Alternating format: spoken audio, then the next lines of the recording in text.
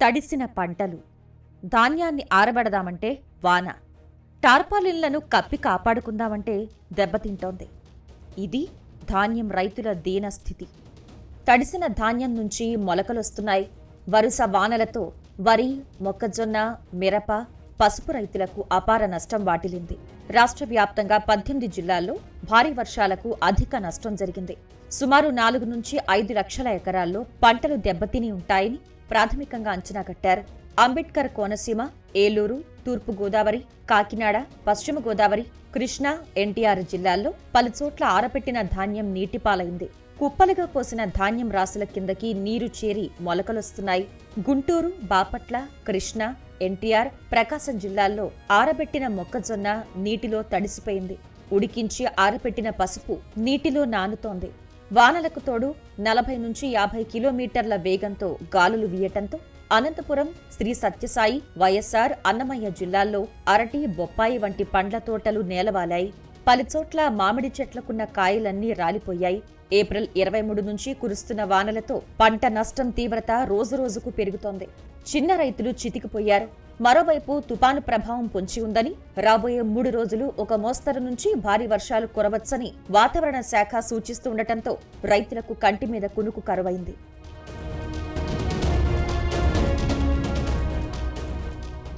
భారీ వర్షాలకు వరి రైతుల పరిస్థితి అగమ్య గోచరంగా తయారైంది. ఆగకుండా కురుస్తున్న వానలు గాలులతో కోతకు సిద్ధంగా ఉన్న వరి నేలకరిచింది కొన్ని చోట్ల మొలకలు వస్తోంది.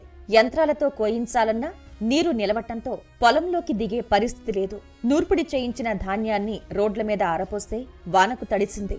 కుప్పలు కుప్పలుగా పోసిన ధాన్యం కింద కూడా వాన నీరు చేరుతోంది.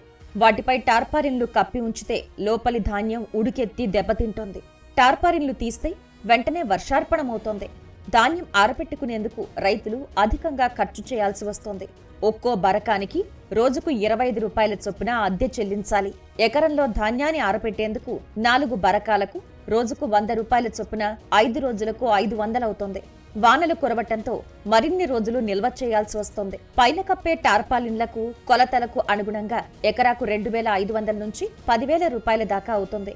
పొలంలో నీరు నిలవటంతో అక్కడి ధాన్యాన్ని ఇళ్ళకు చేర్చాలంటే కూలీలు వాహనానికి కలిపి ఐదు వేల వరకు ఖర్చవుతోంది. ఎండలు కాయక వేసవికాలం ధాన్యంలా లేదండి ఇప్పుడు వర్షాకాలం లాగే ఉంటుంది ఇది. కూలీలకు డబ్బులు ఇవ్వాలన్నా కూడా చాలా రై సావుకారులు కూడా ఇప్పుడు ఏమి ఇచ్చేలాగే కనిపించట్లేదు. రైతు భరోసా వాళ్ళు ఏమో మొన్నటి వరకు తీసుకునేవారండి ఇప్పుడు ఏం తీసుకోవట్లేదు. నాకు పుల్లిగా ఎండ పెడితే కానీ నేను చిత్తు తీసుకొని అంటున్నాడు. మేము ఏం చేయాలో మాకు అయ్యమయం కింద ఉందండి. వ్యవసాయ మంత్రి గారు ఏం చెప్తున్నాడు అంటే పదిహేను రోజులు పోయాక అంచనా వేస్తానని చెప్తున్నాడు ఈ లోగాలో చేలో ఉన్నది కొంత నాశనం అయిపోద్దండి. ఉన్నది కూడా నాశనం అయిపోద్ది కదండి. అన్నీ చర్య తీసుకోవాలి కదండి. ఇక్కడ కొనికాడేమో అది పుల్- పుల్లు కావాలని నేను అంటున్నారండి. ఎంతవరకు భరాయించాలండి రైతు? ఇంకా ఇంత దిగజారిన బతుకు రైతుకి ఇంక ఎట్టి ఎట్టి పరిస్థితుల్లో కూడా రైతుకి కనుక ఇంత దిగజారిన బతుకు ఇంకా బతకూడదండి ఇంకా రైతు అన్నవాడు ఆత్మహత్య చేసి చావాల్సిందేదండి ప్రతిది మొత్తం అంతా పదకొండు ఇరవై ఒకటి వరి వరి రకం ఊడ్చాము. రైతు భరోసా వాళ్ళు ఊడ్చా ఆ రకం ఊడ్చమంటే అదే ఊడ్చాము. ఈ ఈ పంటకి బ్రోకెన్ సమస్య వచ్చిందని మేము ప్రతి వెళ్ళిన ప్రతి లోడ్కి మిల్లర్లు మా దగ్గర ఫోన్ పే చేసుకుని ఫోన్ పే చేయించి అంత అమౌంట్ అని చెప్పి కట్టించుకుంటే కానీ మాకు అన్లోడ్ చేసుకోవట్లేదు. ఈ లాస్ మేమే భరించవలసి వస్తుంది. అసలు ఈ బ్రోకెన్ సమస్య అనేది రైతులకి ఎప్పుడూ లేదు. సంచి సకాలంలో సప్లై చేసి ఇట్లాగా వెహికల్స్ వచ్చి ఇట్లాగా చేస్తే ఈ వర్షానికి కొంచెం మాకు కొంచెం ఆ ప్రతిబంధకానికి కొంచెం మాకు సహకరించినట్టుగా అవుతుంది. రబీలో పదహారు పాయింట్ నాలుగు ఒక్క లక్షల ఎకరాల్లో వరి సాగు చేశారు. ఇందులో యాభై శాతం పైనే కోతలు పూర్తయ్యాయి. రబీలో ముప్పై లక్షల టన్నుల ధాన్యం సేకరిస్తామని పౌర సరఫరాల శాఖ చెబుతుండగా ఏప్రిల్ ఒకటి నుంచి మే ఐదు వరకు ముప్పై ఆరు రోజుల్లో ఐదు పాయింట్ ఎనిమిది మూడు లక్షల టన్నులే కొన్నారు. రైతు భరోసా కేంద్రాల ద్వారా ధాన్యం సేకరణకు గోతాలివ్వటంలో జాప్యంతో అధిక శాతం పంట రోడ్లపైనే ఉంది.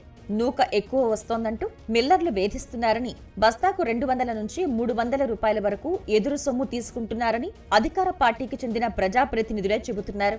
మిల్లుకు ధాన్యం పంపిన తేమ నూక పేరుతో దిగుమతి చేసుకోకుండా రోజుల తరబడి నిలిపివేయడము ధాన్యం రైతుల అవస్థలకు కారణమైంది. అయినా అధికారులు అంతగా పట్టించుకోలేదు. ఈలోగా వర్షాలు మరింత అధికమై తీవ్ర నష్టాలను మిగిల్చాయి.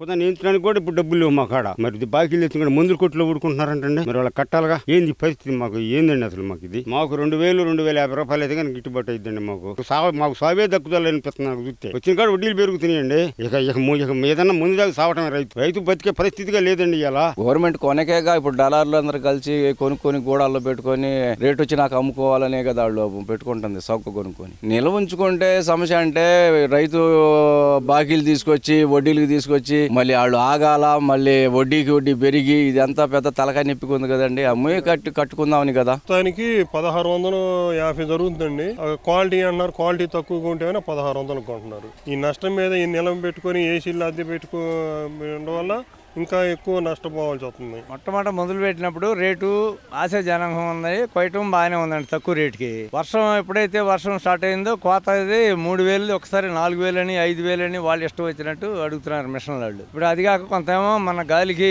కొంత పడిపోయింది. పడిపోయింది ఏంటంటే దా నూటికి డెబ్బై ఐదు పర్సెంటే వస్తుంది మిషన్కి. పావల పర్సెంట్ ఉంటుంది. ఆ కన్ను అంతా వేస్ట్ అయిపోతుంది. అది కూలీలను పెట్టి ఏరించాలంటే మళ్ళీ ఈ మూడు వేలు మిషన్కి ఎంత అవుతుందో ఆ ఏరిన దానికి అంత అవుతుంది మళ్ళీ. గురువారం నుంచి గోదావరి జిల్లాల్లోని అధికారుల్లో హడావిడి మొదలైంది. ప్రతిపక్ష నేత చంద్రబాబు పర్యటించే గ్రామాలకు వెళ్ళి అక్కడి ధాన్యాన్ని మిల్లులకు తరలిస్తున్నారు. మిగిలిన చోట్ల రైతులే వాహనాలు ఏర్పాటు చేసుకుని మిల్లులకు పంపాలని అధికారులు సూచిస్తున్నారు. ఎంత ధరకు కొంటున్నారు అనే విషయాన్ని మాత్రం చెప్పట్లేదు.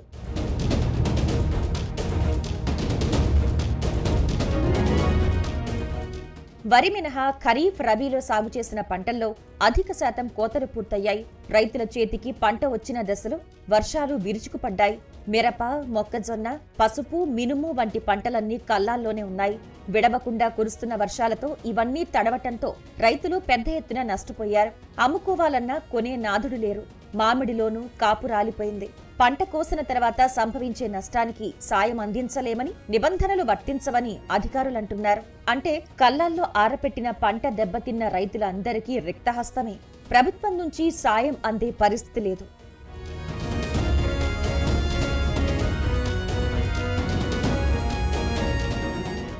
రాష్ట్రంలోని సాగుదారుల్లో అధిక శాతం కౌలు రైతులే ఉన్నారు.